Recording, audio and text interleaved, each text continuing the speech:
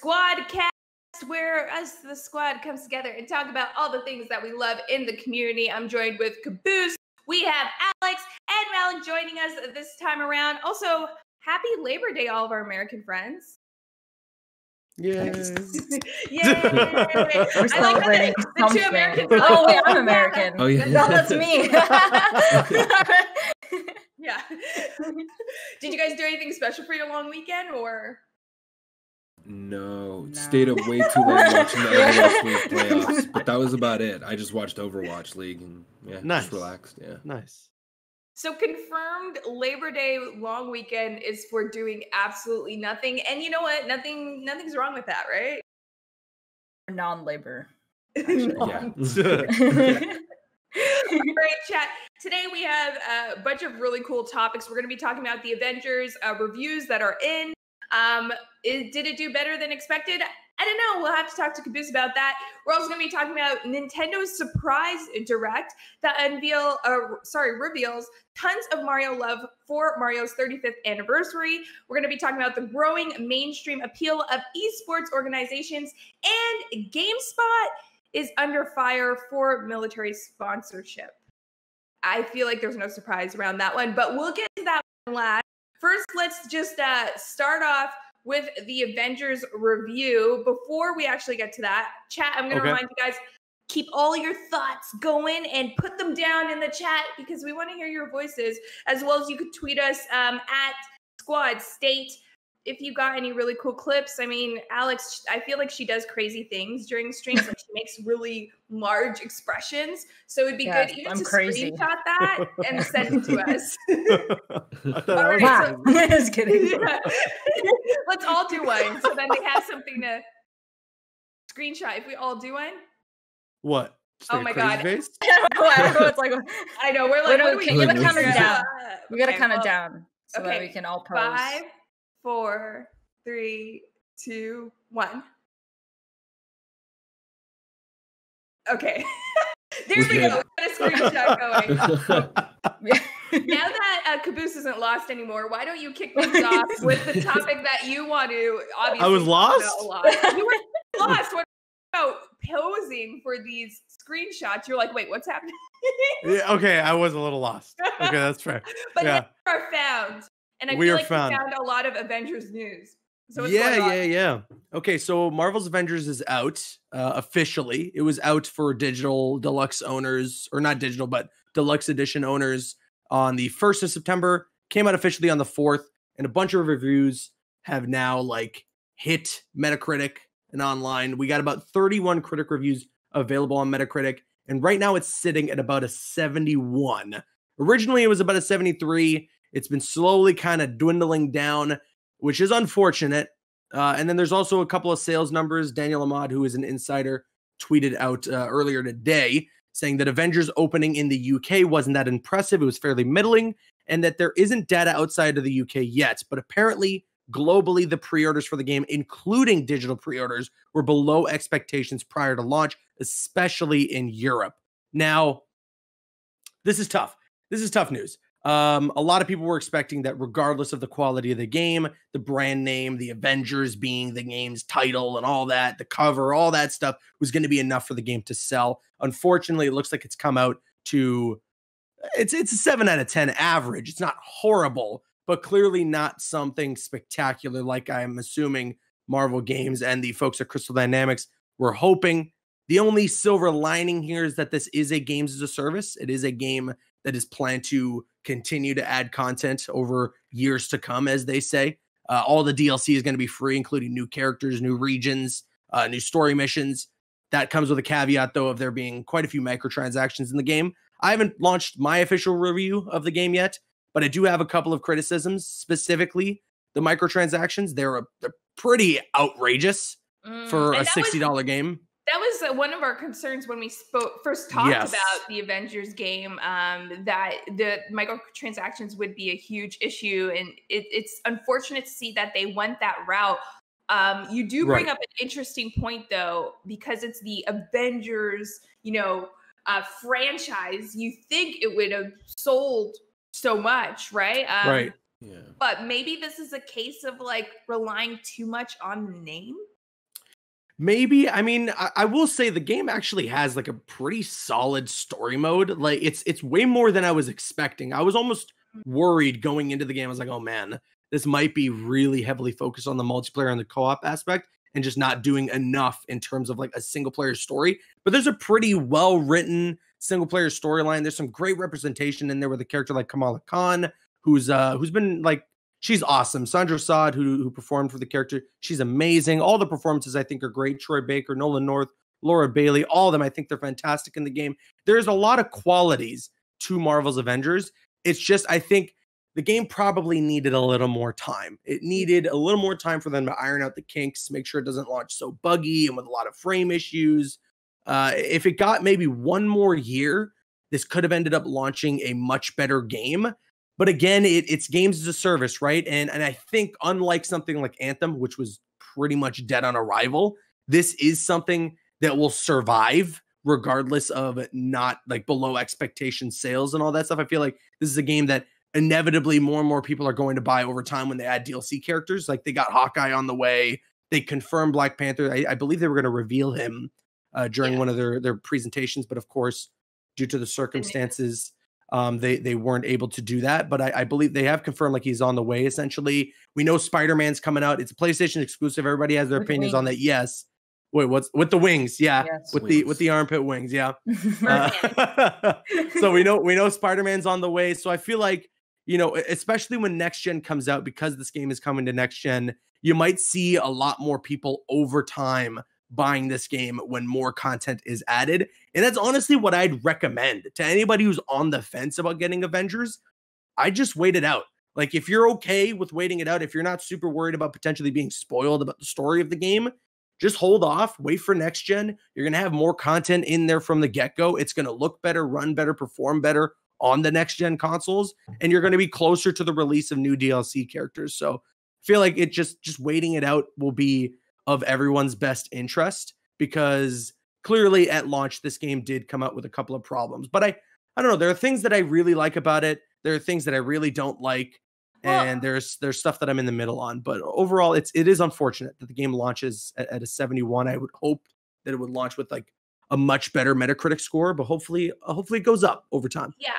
Well, well, and that's the thing. Yeah, I think it is unfortunate that it launched at a lower score. However, we do usually see that with games uh, uh, as a service.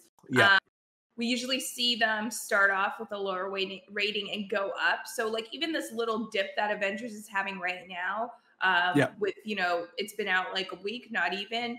Um, I feel like this is pretty normal, uh, just because the developers are really pushing getting the game out there in the hands of fans. Um, whereas the content side, although I've heard also as well from uh, many other people that the story is really good, um, I think a lot of people wanted more from the story. I have not played it yet. Um, not sorry from not from the story, but more from the game in particular uh, with the yes. multiplayer, so it doesn't feel so isolated. And I feel like all those things are things that we could flesh out. The unfortunate thing is when you sell a game as you know this big title that's going to allow mm-hmm. you to do so many things um it's going to be on stadia. Remember that? That they were pushing that. Remember stadia? um it, it's just unfortunate that the marketing amped it up so much. Um so you have to ask yourself is this just a result of maybe the year that we're in? Like i know even with with COVID happening and people being in isolation, games are selling at an all time high. Like um, in our next story, I'll kind of get to that. Um, but I feel, and we saw that with The Last of Us as well, breaking records.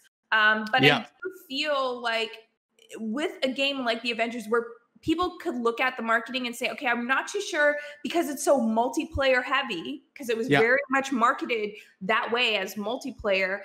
I'm not too sure that game's for me. And I think that's a, lar- a larger audience than maybe um, they realize, the devs realize, uh, would be affected by this. Right. Yeah, I, I, certainly see that being the case as well. Um, and and you're right. There have been a lot of cases of games as a service where this happens. The game comes out, doesn't really reach crazy review standards, um, but it gets better over time. You know, you look at something like Destiny, which has a, a 76 on Metacritic, and obviously Destiny's a friggin' juggernaut in games Yeah. now. Yeah. Uh, but then you also like on the other side of the spectrum, you look at Anthem, which launched at a 54 on Metacritic and is pretty much dead in the water, waiting for a full like overhaul now. Overall, Yeah. So- had high so- hopes for Anthem. Sea of Thieves. hopes. I Sea of Thieves Anthem, is yeah, RIP. Sea of Thieves is Um, an interesting No Man's interesting thing to Sky. pull up. yeah. Yeah, yeah. Um, but Bad it's about just how- yeah, Anthem. Ugh, Rip Anthem. Can we just have oh. a moment of silence for right. I mean, I heard it was bad, but I wasn't sure like why. Like what what happened It- with that game. yeah. It was just lack of content in the mechanics. They had ideas for the mechanics, but they weren't fully fleshed out. I Mm. think with Avengers, give it like five years and it's gonna still be going strong. I think Yeah. it's gonna Yeah, be one of so. those games that's built to last. I mean, when Disney acquired the rights for Marvel and they started doing Iron Man and they started doing all the solo films, they were building up, you know what I mean, building up the universe and, and Yeah. getting that ready. I think that they can Mm. do the same thing with the game if they just keep that mindset and and like you said, not s- focus so much on the marketing and trying to get hype, but focusing on building a core to the game and then just expanding on it because it looks fun. And I've heard people say that besides the little bugs and glitches, they have a great time playing it. They just don't play it for extended periods of time. And Yeah. I think Yeah. that may be what gets well, you know, what got them in the reviews. like like for me as a fan sorry to cut you off camille No, no, but no, like go ahead. a- a- as a fan of of games like destiny who someone who is very much not uh, not very much but pretty into rpgs uh avengers is solid in that like a lot of people look at the game and immediately the first impression is oh it's a button masher and that that frustrates me as someone who's put like a lot of hours into the game because when you start to progress through the skill trees and you unlock a ton of different abilities for each character you start to realize that the combat is very in depth in avengers. You just have to you know do it like you ha- you you can button mash in any game there you could button mash in the spider-man game you could button mash in any of the batman games but it's up to you the player to try and master the skills that are provided to you through the skill trees and that's exactly what you can do in avengers and that's what i've been trying to do i've been playing a lot of captain america uh again i know canadian captain america's of favorite avengers weird right Well, it's okay. Um, it's Labor Day. It's you're allowed. yeah, I'm allowed, and also the voice of Captain America was in my Twitch chat, so that was awesome.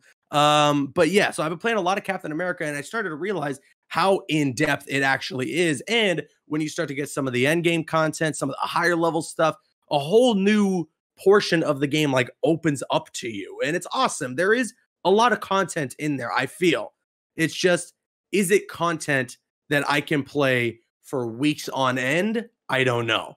So Yeah. we'll see where the game goes. Well, I'm still I'm sure again that it's going to sell enough with the DLC and all that to keep people coming back and to get more people to buy the game. It's going to survive. But whether or not it will survive with or yeah, without Iron Man. yeah, uh, whether or not it'll live on for years, I don't know. That's that's the question. Um, I'm really happy to know that you spent so many hours button mashing. Mm, Oh, I'm kidding. Okay. Kidding, I'm kidding. I'll see you guys Dang. later. Uh, gotta find a new where it host for the podcast. Peace out. I actually want to draw a comparison because you remember DC Universe Online Yes. yeah, I do. that game uh, release, a massive game. Uh, Yeah. I remember downloading that and like having nightmares of like what I'm gonna delete next to download that game. Um, obviously, it was massive, but we saw it was very uh, the service for that game was long lasting. Um, Even Mm-hmm. last year, they released the I think it was Aquaman. Was it Aquaman DLC? Uh, where People you still go play to this day. yeah, Mhm. but like that is such a long lasting game. However, the community is very niche. Yeah. Do we think that we'll see that with this Avengers game? Uh, no, I think this can reach a little bit of a wider audience than DC Universe Online did. Because yeah, DC Universe Online is very niche. Um, it's not one of these like super polished AAA looking games. It's it is straight up. It's one of those games. It's free to play. Yeah. You, you get it for your kid on on a crummy computer or laptop, and they just they have something to play. And that's honestly like not to diss the game because there there's some cool stuff in there, but that's kind of all that the devs hope for or all that like DC really hopes for out of that game is, you know, somebody's parents or a kid's parents are just going to download the game for them so that they have something to play. a lot of fan service. You got to give them a Yes, yes. do a lot of research. Oh, for sure. Into the different comic books, and like that's something I appreciate. Yes, uh, yes. from that game. Um, but you did mention something. It is free to play. Yeah. Do you think if Avengers was free to play, it would justify all the microtransactions that we're seeing? Oh, 1000%. But I feel like there's too much content in there to make it free to play. That would be a massive risk on Marvel and Crystal Dynamics' part. Because if, if it it, if it. I mean, if the multiplayer was just free to play, that could be an intriguing, enticing offer. But again, I feel like I still feel like there's too much content in there to make it free to play. I feel like it's still too big of a risk.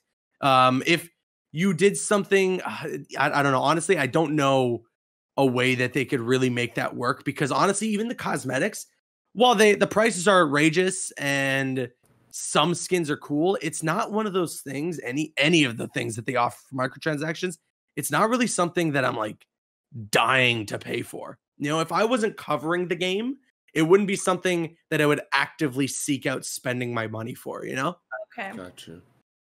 How much So- is the game? it's a sixty dollar game, like a Yeah, the uh, base price for a game. Yeah, 70, Do you think it we'll see a? 60? Well, yeah, 69. Isn't it? well, in Canada it's seventy. Yeah, Yeah. yeah. Like, oh, yeah. I'm sorry. Right. Yeah. I'm like, oh, that was nice of you this. to convert for me. I'm Of course. let Of course, Alex. right the real Captain America right here. now. Thank well, you. it's so unfortunate to know that um, a legacy brand like Avengers didn't kick off the way that everyone hoped uh, it to. Yeah. But I feel like we all agree that the future of the Avengers game is probably bright. Oh, yeah, when Spider-Man Yeah. gets added, like like listen, the Avengers is a big brand, no doubt about it. Marvel's a big brand, no doubt about it. Spider-Man eclipses both of those as a brand.